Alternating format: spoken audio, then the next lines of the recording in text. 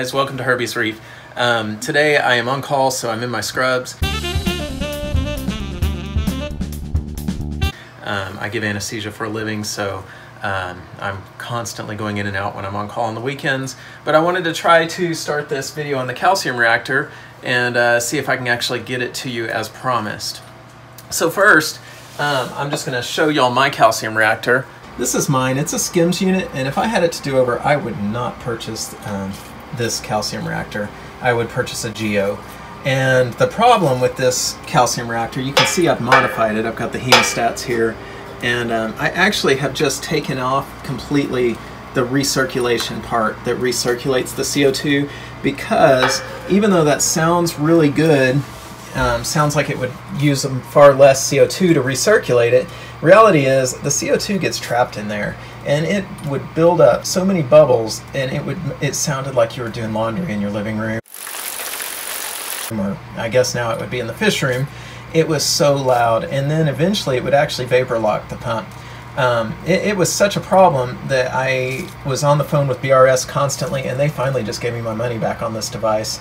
And um, so I was going to buy a Geo and as a last ditch effort in case anyone has this, what I finally did is I just clamped off this recirculation line and I moved the CO2 input to right here. Um, so it goes, the way these work, you've got a CO2 tank here and the CO2 flows right here to this bubble chamber and you can see it bubble every now and then. And then the bubble will go through this tubing and go into this line and then this is where the water flows. It flows from the bottom through this pump and up through here and through there. Um, and eventually the water will leave. It has a second chamber of media back there and unfortunately the tightness of my fish room does not really allow you to see that, but that's a second chamber of calcium reactor media. So the, the, the water flows through that chamber last and that allows some of the CO2 to be gassed off into that media and then it goes from here through this line into the peristaltic pump. Normally most people don't have these pumps. It does not come with it.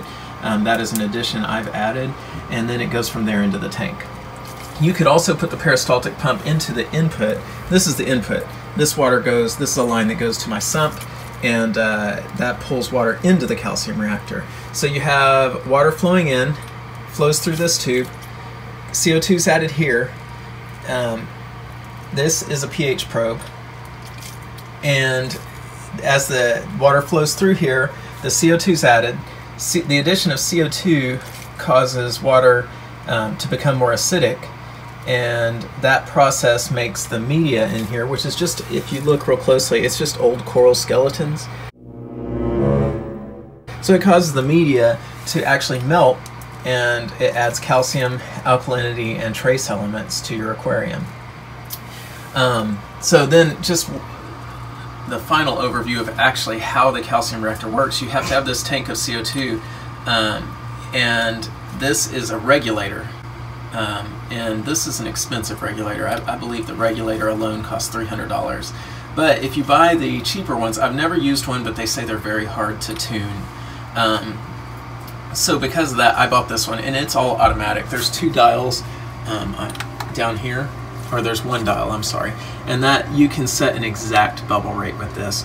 Um, you basically, you set, this is the tank pressure, and then that one is the, um, my phone won't focus, but that one's the pressure uh, that I'm allowing to go through the regulator. Um, and you could set that anywhere from 5 to 10 based on your CO2 needs and then you set a bubble rate. So I've got it right now at one bubble every seven seconds. Um, and you adjust this to make your water more acidic or less acidic. So that's where the pH probe comes in. And the pH probe is hooked to your apex. Um, and, and so I set the apex up to where it will actually shut this regulator off. This is plugged into the apex so based on the pH, it, it shuts the regulator off and on. Now I have it tuned to where the regulator rarely ever shuts off. It pretty much just goes at a constant one bubble every seven seconds, which is ideal because it causes the regulator to last longer that way. But you could just you could set the bubble rate at one bubble per second and just have your apex control everything and it would automatically when the water reaches whatever pH you tell it it'll turn it off and then when you reach the high end of the pH it'll turn it back on um, and you want the pH in the reaction chamber where you're going to set that depends on how much calcium and alkalinity you need and the flow rate of your effluent which is the fluid coming out and going into your sump after it's gone through the reactor you adjust those two things based on your calcium and alkalinity needs. Um, so when I first bought this, I didn't have the peristaltic pump. And I would run the pH at around 6.5, which is the low end where you keep the pH of a calcium reactor. If you go too much lower than that, you risk melting the media. Um, I hear that depends on the type of media you have. Some can actually go down as low as 6, I think. Um, but the one I had, it was recommended not to go lower than, than 6.5. Um, so I had it at 6.5 and I was running a drip rate of 10 mils per minute. And that is very slow. My tank does not use near the calcium and alkalinity that a true SPS person's tank would use. Um, and my tank is new, so the SPS isn't large. I'm sure the demand will go up as it grows. So the problem I was having is as the water would drip, I just had it dripping by gravity into the sump and it would build up calcium in the you had you had a um, device that would control the flow. It was a valve, and it would control the flow dripping by gravity, and it would gradually become to I'd have to open it more and more and more to get the same drip rate. Well, then all of a sudden, whatever was blocking it would break through, and it'd start dripping really fast. And I had one time where it actually raised my alkalinity up to almost 20. Um, and that scared me. I almost lost, I, I was worried I was going to lose all my coral, but actually they all looked fine. I just gradually let them come back down. Nothing died. Had no losses at all. Nothing even looked very stressed. But I, I thought that I got lucky.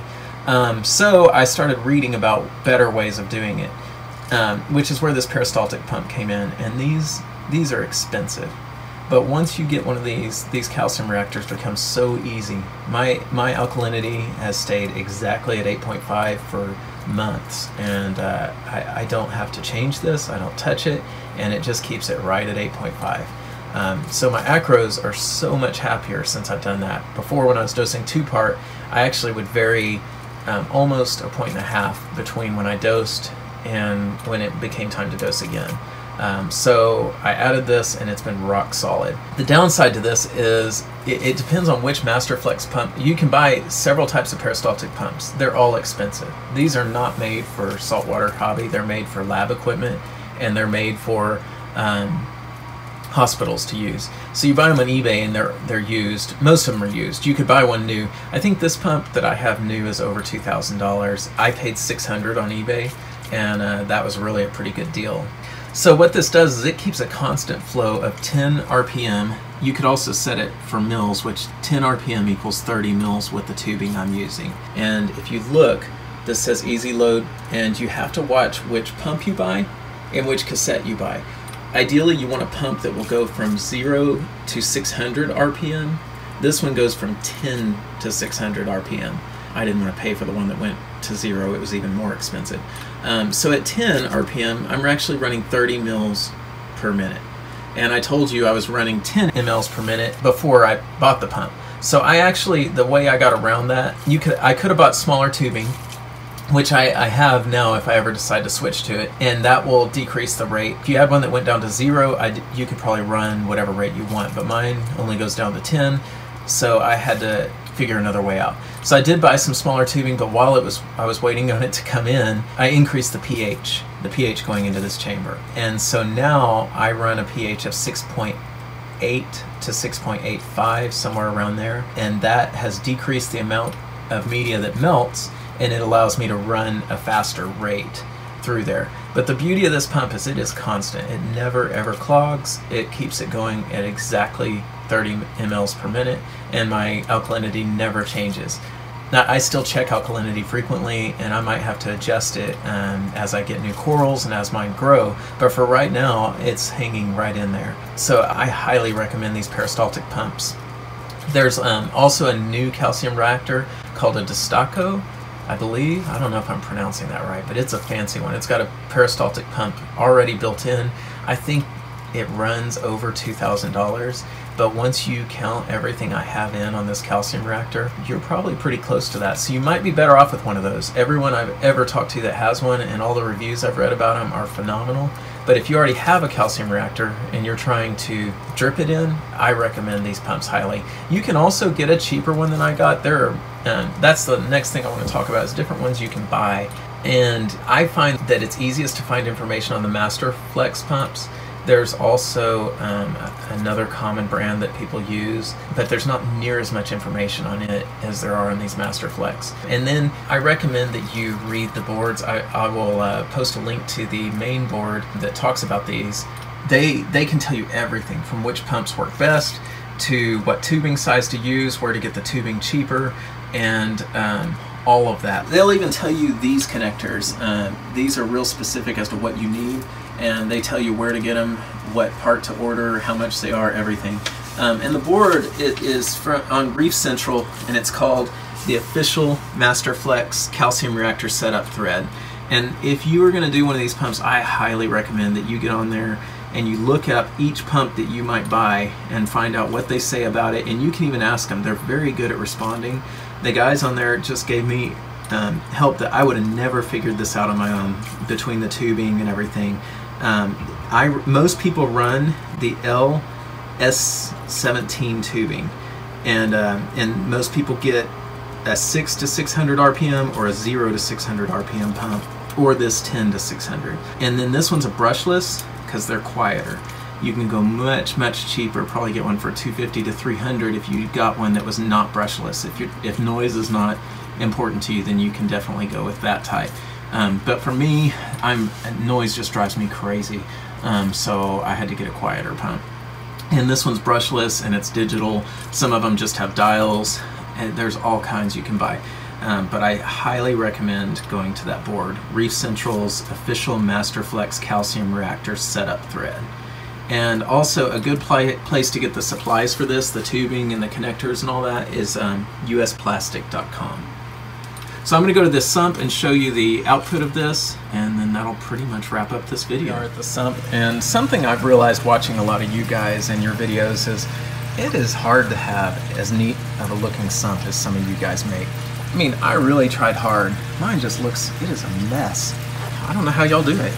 Um, so, to you guys that have sumps that look awesome, I just, congratulations to you.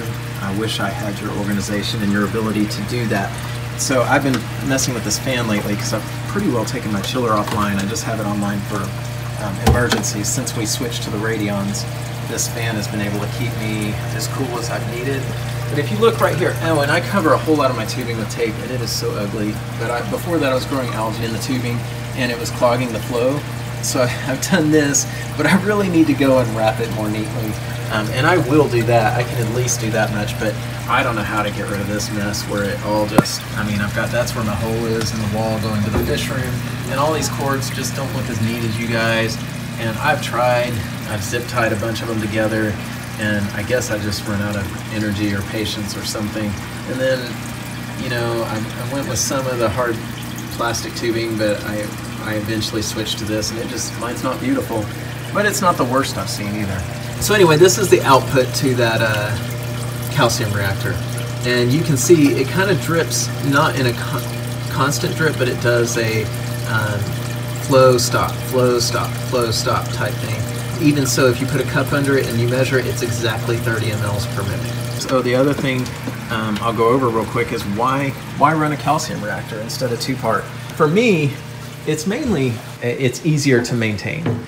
The once you get it set up, the calcium reactor is so easy, and it never ever fails on me, I'll, I'll show the reef while I talk here a little bit. I'm going to get the gel filter and put it on.